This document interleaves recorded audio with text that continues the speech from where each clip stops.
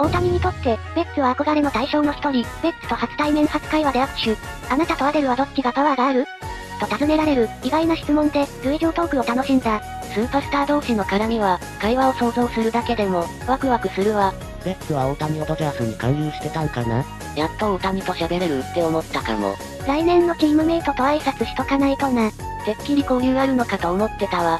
来年はおそらくドジャースを応援することになるんやろうな。待ち遠しい。アデルも知られてきたんやね。大谷、ドジャースに来ないかって、言われたかもしれんね。名刺配りの効果やな。根回しうまいわ大谷さん。チームは、いくら何でも負けすぎやわ。近いうちに、この方の近くに行くだろうね。未来のチームメイトに挨拶かな。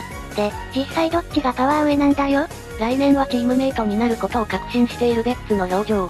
ベッツと会話したことないの意外やった。ベッツから手を差し出して握手してたわ。オールスターでもリーグ違うから初めて喋るんやろね。